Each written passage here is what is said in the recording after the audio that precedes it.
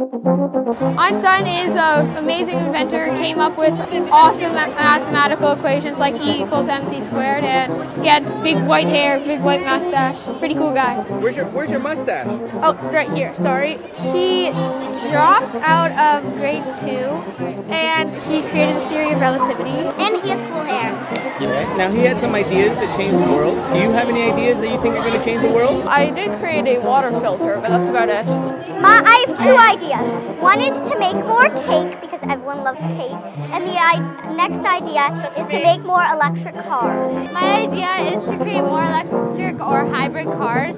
To make electric cars? Make electric cars because the gas cars um, pollute the environment. It would just save the environment and the greenery and stuff, which I'm a big, I, I love like flowers and stuff. So maybe uh, make flying cars. I want to clone people and animals. My idea is to make some sort of phone that when you use data, it doesn't really use it up, and so that um, when you use it, it's not worth any electricity. My idea is to make a substitute of for paper, so we don't have to cut down trees to make paper.